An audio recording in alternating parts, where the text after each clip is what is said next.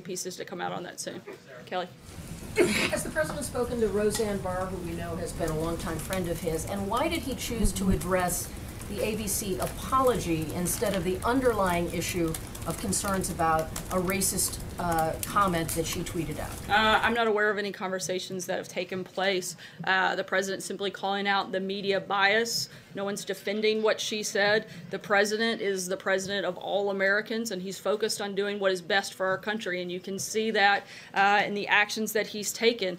You can see where he's focused on unemployment being at the lowest since 2000, opportunity investment zones to encourage investment in underserved communities, an opioid initiative to combat a crisis that impacts all Americans. And today, the president signed legislation to give patients the right to try a medication that could actually save their lives. And I'd point out that while the president signed that legislation and actually addressed America, two networks chose not to cover it and instead covered something totally different in Palace Intrigue, a massive piece of le legislation that had bipartisan support that was uh, life changing, literally life changing for millions of Americans. Two networks chose not to cover the president's remarks on that. He's simply pointing out the bias. The president's pointing to the hypocrisy in the media saying that the most horrible things about this president, uh, and nobody addresses it. Where was Bob Iger's apology to the White House staff for Jemele Hill calling the president and anyone associated with him a white supremacist?